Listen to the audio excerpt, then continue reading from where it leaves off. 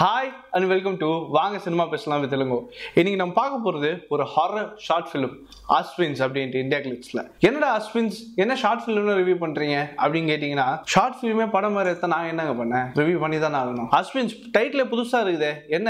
அப்படின்னு கேட்டிங்கன்னா ஒரு ட்வின் காட் ஆஃப் மெடிசன் ஒரு ஹிந்து மித்தாலஜிக்கல் காட் அவங்க. இந்த ட்வின்ன்ற கான்செப்ட் என்னன்னு பார்த்தீங்கன்னா ஒரு representation of good and bad கதைக்குள்ள போகும் கதை ஆரம்பத்திலேயே நம்மளுக்கு வந்து ஸ்க்ரீன்லேயே கதையை சொல்லிடுறாங்க. என்னன்னு பார்த்தீங்கன்னா ஆர்த்தி ராஜ்கோபால் அப்படின்னு அப்படின்ற ஒரு இருபத்தி மூணு வயசான ஒரு பெண்மணி. அவங்க வந்து ஒரு ஆர்கியலாஜிக்கல் ஸ்டூடெண்ட் அவங்க ஏதோ ஒரு ரிசர்ச்க்காக காஞ்சிபுரம் பக்கத்தில் இருக்கிற ஒரு வில்லேஜுக்கு போவாங்க. போயிட்டு வந்த ஒரு முப்பதாவது நாள் அவங்க வந்து சூசைட் பண்ணிக்கிறாங்க. என்னடா அப்படின்னு திகைச்சு போன போலீஸ் அங்க போயிட்டு இன்வெஸ்டிகேட் பண்றாங்க. அப்ப என்ன தெரிய வருதுன்னா அந்த ஊர்ல ஒரு தொண்ணூறு வயசு பாட்டி இருந்ததாகவும் அவங்க கிட்ட ஒரு பாக்ஸ் இருந்ததாகவும் அந்த பாக்ஸ்ல ரெண்டு குதிரை பொம்மை இருந்ததாகவும் தெரிய வருது. இந்த ஆர்த்தி என்னும் பெண்மணி அந்த ஊர்ல இருந்து வரும்போது அந்த பாட்டி கிட்ட இருந்து அந்த பாக்ஸை திருடிட்டு வந்துடுறாங்க இதுல ஒரு ஆச்சரியமான விஷயம் என்னன்னு பாத்தீங்கன்னா ஆர்த்தி வந்து சூசைட் பண்ற அன்னைக்கு அந்த பாட்டியும் இறக்குறாங்க. ஊருக்குள்ள ஒரு பேச்சு பரவுது. அந்த குதிரை பொம்மையை யாராவது பார்த்தாலோ தொட்டாலோ அவங்களே இறந்துடுவாங்க இல்லை யாரையோ கொலை பண்ணுவாங்க.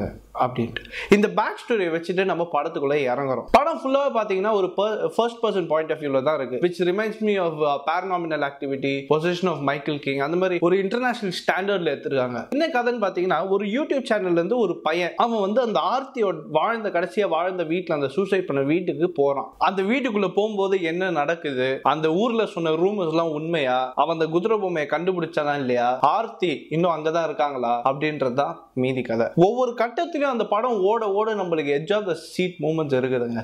படம் மொத்தமாவே ஒன்பது நிமிஷம் அப்படின்றதுனால I don't talk much about it படம் ஸ்டார்டிங்லேயே பைலட் அப்படின்னு சொல்லிட்டாங்க. பைலட் என்பது வந்துட்டு இஸ் எப்படி சொல்லலாம் ஒரு டீசர் மாதிரி அந்த ஒரு படத்துக்கு ஒரு ப்ரொடியூசர் பிடிக்கிறதுக்காக அது வந்து அவங்களே பண்ணுவாங்க. படமா வந்ததுன்னா I'm sure it be a huge hit ஏன்னா இந்த மாதிரி ஒரு முயற்சி தமிழ் சினிமாவில் வந்ததே கிடையாது. Which is you know in truly international ஸ்டாண்டர்ட்ல இருக்கு. இந்த படத்தோட டேரக்டர் ரைட்டர் சினிமோட்டோகிராஃபர் எடிட்டர் எல்லாமே ஒரே ஆள் தான் தருண் தேஜான்னு சொல்லிட்டு. பியூட்டிஃபுல் ஜாப் கேமராவும் அவர் தான் பண்ணியிருக்காரு. கேமரா சில இடத்துங்கள்லாம் அப்படியே திகில் ஊட்டுற மாதிரி ஆர்ட் ஒர்க்கும் brilliantly is done nothing is taking for granted பேசிக்கா சவுண்ட் எஃபெக்ட்ஸ் பற்றி இந்த படத்தில் நான் கண்டிப்பாக சொல்லி ஆகணுங்க.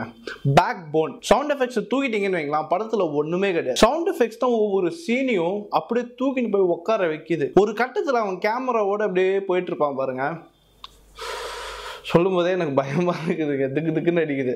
அந்த படம் பார்க்கும்போதே உங்களுக்கு வந்துட்டு ஐயோ என்ன நடக்க போகுது? என்ன நடக்க போகுது? என்ன நடக்க போகுது? அப்படின்ற ஒரு ஃபீல் முழு படமும் கொடுக்குது. இந்த முயற்சிக்கே நான் வந்து கண்டிப்பாக ஒரு ஹேட்ஸ் ஆஃப் சொல்லுவேன் அந்த டீமுக்கே இந்த மாதிரி என்டர்டெய்னிங்கான ஒரு படம் எடுக்கிறது வந்துட்டு அதுவும் டூரிங் லாக்டவுன்ன்றது ரொம்ப பெரிய விஷயம். அந்த லொகேஷன் எங்க கண்டுபிடிச்சாங்கன்னு தெரியல. சென்னை பசங்களா இருக்கணும்னு நினைக்கிறேன். குட் ஜாப் கைஸ் டோட்டலாகவே இஸ் பிரில்லியன்ட் ஃபிலிம் ஒரு ஹாரர் ஷான பிடிச்சவங்களுக்குலாம் இட்ஸ் ட்ரீட் டு வாட்ச் ஒரு ஹாஃப் அன் ஹவர் ஒரு நைன்டீன் மினிட்ஸ் உட்காந்து பார்க்கறதுக்கு இட்ஸ் ட்ரீட் கண்டிப்பாக இன்னும் சொல்லணும்னு நான் நினச்சேன். படத்தோட மியூசிக் அண்ட் எஸ்எஃப்எக்ஸ் அவரோட பேர் வந்து விஜய்னு சொல்லிட்டு. Brilliant job bro you done amazing job உங்களால் தான் இந்த படமே வந்துட்டு it's moving forward and it's truly hitting international standard very good job to all the team இந்த வீடியோ பிடிச்சிருந்ததுன்னா ஸ்டுடியோ மேஜிக் என்டர்டைன்ஸ்க்கு மறக்காமல் சப்ஸ்கிரைப் பண்ணுங்கள் பக்கத்தில் இருக்கிற பெல் ஐக்கனை தட்டி விட்டுருங்க.